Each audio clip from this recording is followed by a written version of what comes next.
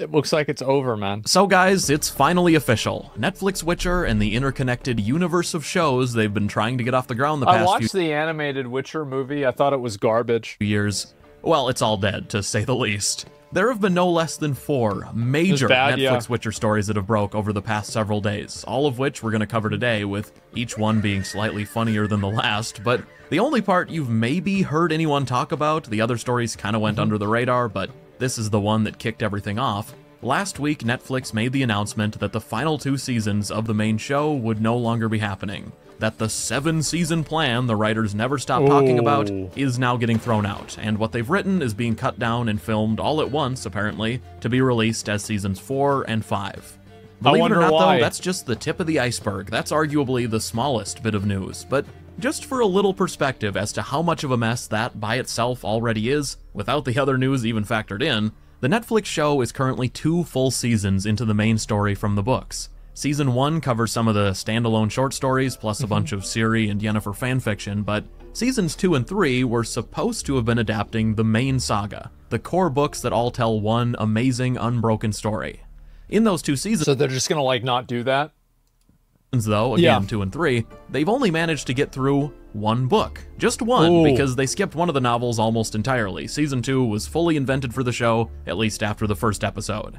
I'm sure this won't surprise you, but Eskel being a weird perv who turns into fucking Groot and gets cut down by Geralt, that's a Netflix thing.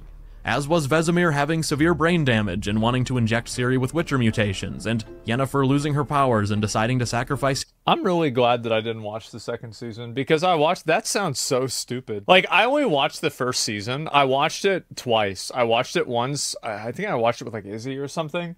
And then after that I watched it with my mom. And I liked it. I thought the show was great. The first season. I, I genuinely enjoyed the show. And then I heard the season two was bad. It's the same thing I did with like Sword Art Online.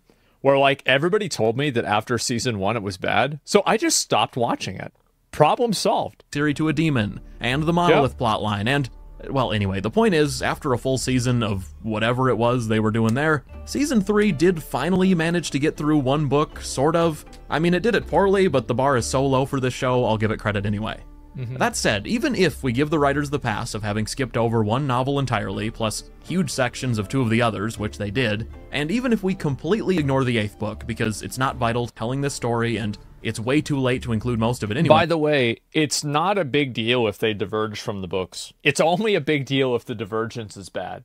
Even if we give the show a pass for all of those things, they still have to somehow cover the 3 Mm-hmm. longest and by far the most complicated books in just two seasons now. And because the writers clearly thought their ideas were so much better than what was already written, they're also going to have to wrap up approximately 42 storylines that the show invented.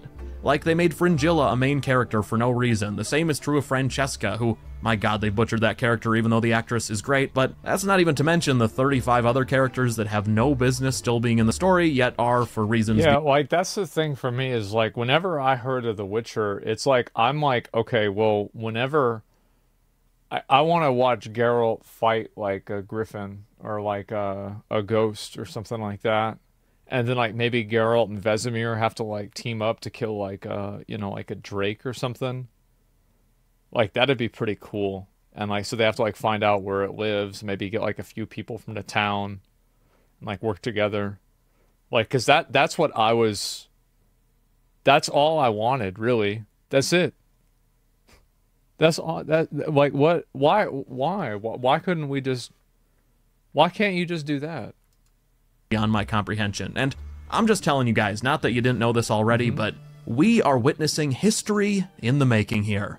We're all old and gray in 2075. no he he's right about this that this show fuck up will be historic this is a historic level fuck up on our fourth replay of The Witcher 7 Geralt Returns Again Part 3, Netflix Witcher will still be the premier example to bring up when Yeah. it comes to how not to run a show. Because for all of the other book and game adaptations that Mm-hmm. have definitely been less than stellar lately, man that's pretty bad ain't it like are they making th- th- did they make or are they making a season 2 for Rings of Power yes for who lately, this is the one that had everything going for it from the start. A lead actor who loved the role, a huge Yeah. budget, all the goodwill you could ever ask for leading up to season 1, And of everything, which there's a lot more to say, what's most embarrassing is that the writers had a series of books that were damn near written for television. This isn't Dune or even Lord of the Rings, where Yeah. you'd need someone insanely creative and talented to bring it to the screen. No, the first several Witcher books, especially 1, 2, and 4, are structured just like a TV show, and what I find extremely funny is that where Henry Cavill chose to bow out at the end of season 3, that is the single most inconvenient time in any story I can think of to have to change lead actors, because the season ends where Geralt, Yennefer, and Ciri get split up, and for the rest of the story, the entire thing, that's the conflict, that's the reason you care, you want to see them survive and reunite, because their relationships with each other are so special in the books, yet in the show, what we But it's a different guy. currently have is a Yennefer who just one season ago was gonna have Ciri killed. Again, a decision the showrunners made of their own accord instead of the way their relationship sh- What the fuck? what the fuck?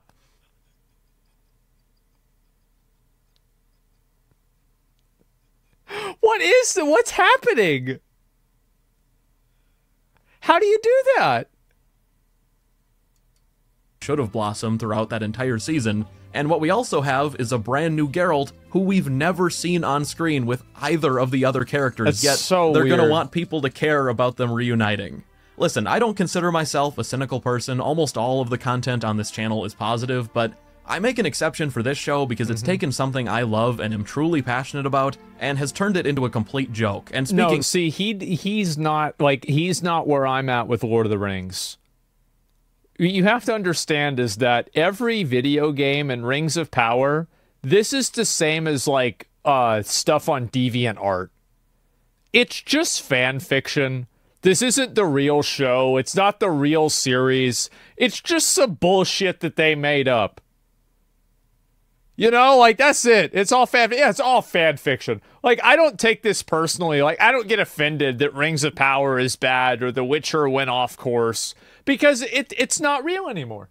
Oh, it's bad. Okay, yeah, I'm just not gonna. I it's not real. Yep, problem solved. of complete jokes, let's move right on to the next story from a few days ago because we're just getting started here. You might have heard that around a year ago, although you probably didn't hear because no one on the planet was excited for this, but it was announced that Netflix had greenlit another Witcher spinoff, which Wait, I mean Netflix I thought green- they made another one that was really bad. I never. I the only time I ever heard about it was the day it came out, and somebody said it was bad, and nobody watched it, and then I never heard about it ever again. The blood, yeah, it was like something blood, yeah. lit another Witcher spinoff sounds more like a threat than a headline. Blood Origin was their lowest rated show Mm-hmm. of all time, but for some reason That's what I heard about. Yeah, about how it was the lowest rated show of all time. Yeah, it's pretty bad.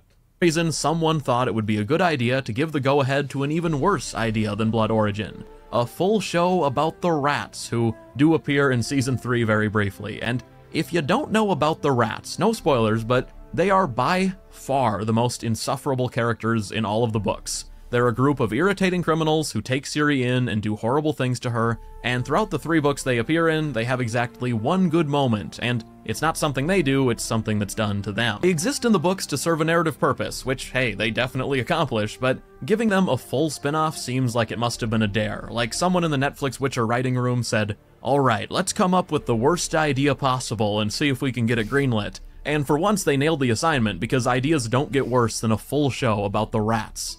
That's not even to mention that, and I don't mean this in any personal way, but who they handed this Rats show to, the showrunner for this spinoff, was someone that had never written for a show before The Witcher. Well, that's pretty good, right? I mean, it's like at that point, I think that's kind of a good thing because, like, that way it'll just die really fast and it'll be over. Right? It's like, okay, well, we've got to have this, we got to do this. Yeah, let's just, let's just, ha- you want to do it? Yeah, sure. Where did you work before? McDonald's? Okay, you're perfect. So you're going to run this show now and go ahead and think about what we're going to do and uh, whatever you want, we're going to do it. Problem solved. Never. No other credits. And I mean, that's definitely a surefire recipe for success right there. Anyway, last Yeah. April, filming kicked off for this show in South Africa. It was scheduled to be a six month shoot, yet kind of ominously, filming unceremoniously ended after under two months, Wow. leading to a lot of questions as to what exactly happened. Well, it's since come out that filming ended four entire months before it was supposed to because Netflix saw what they had already filmed and decided to pull the plug. Report- Hey, some babies deserve to be aborted. I think that's a good thing. That's a that's a Netflix W. Yep, they knew it. They saw it was bad. and they decided, you know what? Let's cut our losses and let's move on. Get the coat hanger. Let's Let's get rid of this. They push it down. Yeah. It's just the way it is. Reportedly, they had only filmed one or maybe two of the eight episodes, and now, behind the scenes, months and months and months later, Right. they're figuring out, or maybe have figured out at this point, what to do with what they already filmed. Yep. According to Redanian Intelligence, who cover Netflix Witcher news and leaks, they have a flawless track record, and I'm hoping they find success with another series because Uh-huh. they do a great job. But according to them, the footage may either end up being used in season 4 as flashbacks, or Netflix may try to turn what they filmed into some sort of standalone sequel, like that upcoming Witcher anime that's apparently dropping later this year. And don't worry, there's news about that one too. Before we move on, though, I do need to take a quick second to thank today's I don't I, I think we have to keep in mind that like a Witcher anime, why do you think that's going to be good? Because it's animated? The reason why anime is good is because it's not made with the same like western like culture social commentary slop that we have. That's why people like anime. So if you do something like that and it's just another basically show that people here are making, then it's going to be the same thing. Sponsor, Factor, who at this point are just a channel staple, as they're the only meal delivery service you'll ever need, and they're what I use almost every single week. I've been personally ordering Factor of my own accord for the past six months at this point, no exaggeration, because doing so has solved every food problem I've ever I used to have those. Yeah. ever had. Factor meals are fresh and never frozen, but by far what's most important to me is that every meal I've had has somehow been healthy, convenient, and really, really good, which I had thought was an impossible. For like a split second, I thought this said something else. I was like, what the fuck? Bro. possible combination Me too, pre-factor. yeah, I was Like, I just don't have time what? to cook every day, or most days, really. And most convenient foods are either unhealthy, extremely expensive, or just Mm-hmm. mind-numbingly boring. But Factor is none of those things, and it's truly changed my health for the better this past half year as I'm eating what I should be Mm-hmm. every single day without burning hours I don't have cooking and cleaning. Factor delivers the meals to your front door each week, and when hungry, just pop them in the microwave for two minutes, or what I do is throw them in the oven for eight, and you're that. good to go. To get started, I- head to factor75.com or click the link below and use code NEON50 to get 50% off your first Factor box. I have an oven that works, but I don't know how to use it.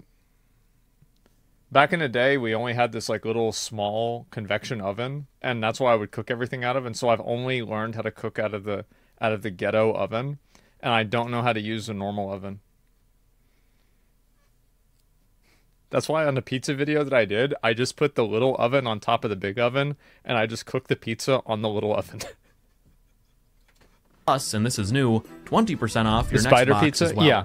That said, just know you won't be locked in or committed for anything more past that first one, so I'm just personally recommending give that heavily discounted first box a try and you won't be disappointed. Mm-hmm. Now dig in. Okay, so I mentioned that upcoming Witcher anime, Sirens of the Deep, because there's also news related to both Sirens and the children's Witcher show Netflix announced. Yes, a Witcher show for the little ones, because we all Oh god, bro, they're gonna turn this shit into Star Wars. Oh my god.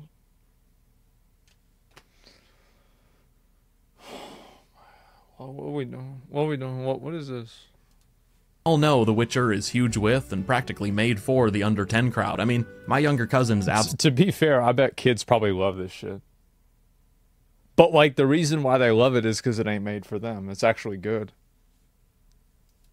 Absolutely love playing with their Horse and Junior action figures and their Yeah. Philippa Eilhart dolls. I believe they have the variant with her eyes gouged out, but anyway, just for a little quick background on Sirens of the Deep, it's a full-length movie coming out later this year made by the same studio who did Nightmare of the Wolf, that Vesemir prequel from I think 3 years back that Literal garbage.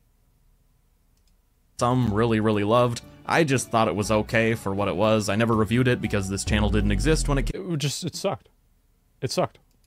Came out, but anyway, Sirens yeah. of the Deep isn't a sequel to Nightmare. Instead, it's adapting one of the short stories that season 1 skipped over, A Little Sacrifice, which no spoilers, but right. A Little no, Sacrifice is a really laid back and pretty sad story it's about mediocre. a girl, Essi Daven, or Poppet, who falls in love with Geralt, which he struggles with because of his feelings for Yennefer. And there's Ooh. also a mermaid related B plot that's really just a background thing with thematic ties to the main story, but you can see from the trailer that Netflix have taken the references to an underwater war and have expanded it into something a lot mm-hmm. bigger, which I mean, whatever, at this point, I'm positive this movie is just going to gut the subtlety of the original, but I'm not going to judge the whole thing before it's out, mostly because production-wise, there's a lot of different people involved compared to the main show, plus Nightmare of the Wolf was 6 out of 10 okay. I mean, compared to Season 2 or Blood Origin, it was basically Return of the King, okay, actually, I That's actually probably a good point because, like, you know, he's watching it in the context of like the, the the season two of the show that was like really bad.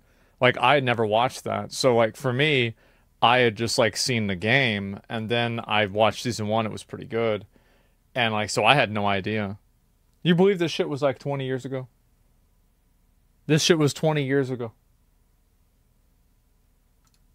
go near that far, but speaking of Return of the King, the Doug Cockle is voicing Geralt in this movie, which any chance to hear him again as Geralt is a blessing, plus Joey Batey is there as Dandelion, he's great, and Anya is back as Yennefer, she's a perfectly good actress, even if Yennefer is the worst written character in the show. In my opinion, a lot of people take how poorly Yen is written in the show and then pin it on the actress, but whatever, that's beside the point, because just a few days ago, it was reported that Sirens of the Deep marks the end of Netflix Witcher, even if Thank it's not going to be the last thing to release.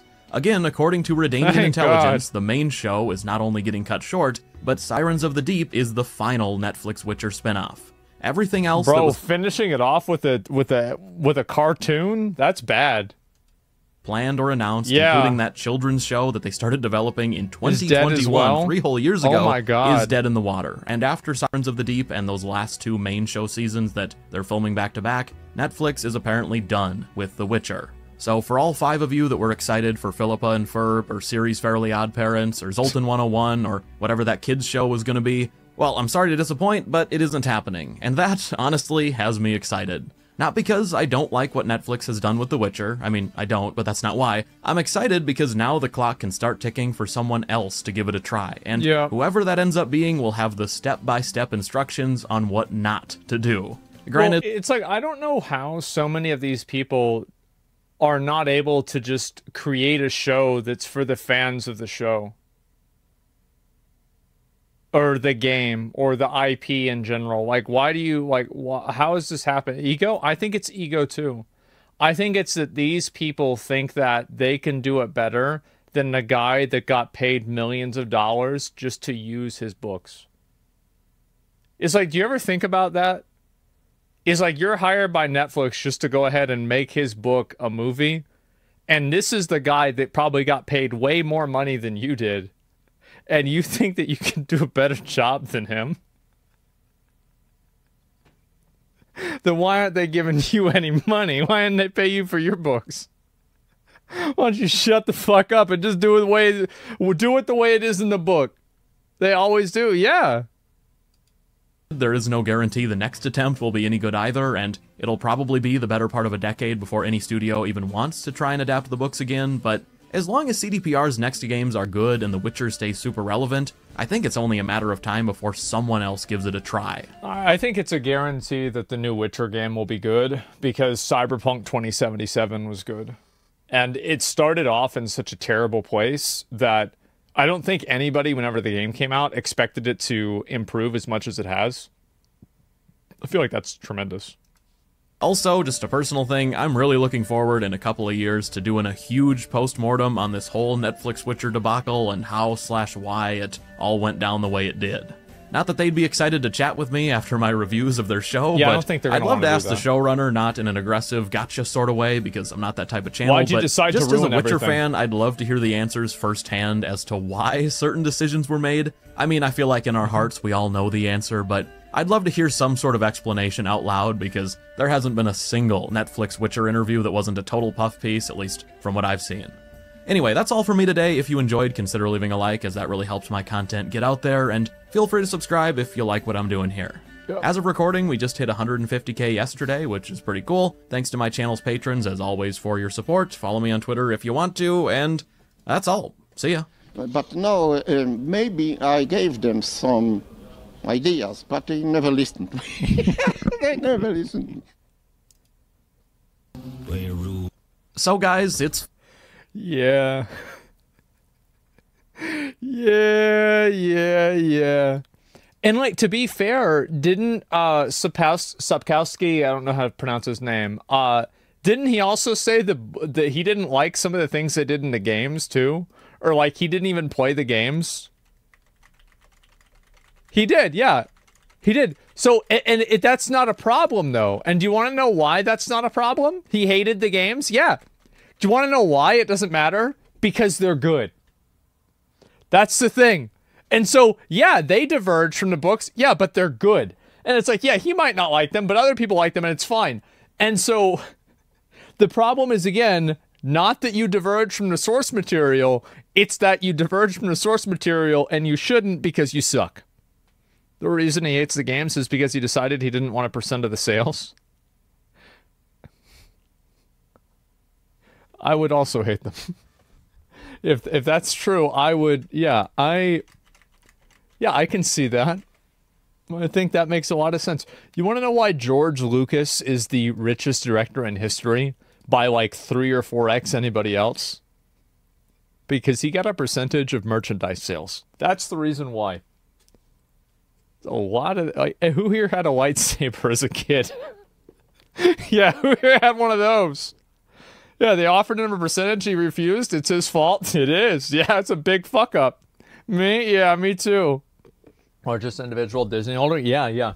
I mean, the guy's massive. But uh, anyway, um, yeah, I think that The Witcher is like a really great example of what happens whenever you decide to ignore the fans, ignore the source material, and just push whatever you want for, you know, whatever reason you have. I think it's a really great thing that the show failed because it shows that that type of thinking and that type of decision making is not successful and you shouldn't do it. So yeah, I think it's a great thing that the show failed. And uh, yeah, it's it's a great data point. Uh, I've never seen NeonKnight's videos before. I'll give you guys a link. Make sure to give them a sub, give it a like as well. The Death Note movie is from well. I'm not going to watch a Death Note movie. Yeah, I have no idea. With season four, it really is a failure. You think it's really a failure? I didn't even know. Lady Bane, thank you for the raid. I appreciate it. Yeah, I mean, I guess so. I mean, I don't know anybody. Like, I, I heard a lot about season two being bad. I didn't even hear about season three. Honestly, I didn't. I didn't even know. I had no idea. I'm sure Keanu Reeves is probably not a gamer, but he didn't complain about his role. He embraced it regardless how people felt about his character in the game. Well, it's that he's an actor. Like, he doesn't need to understand the game to be an actor.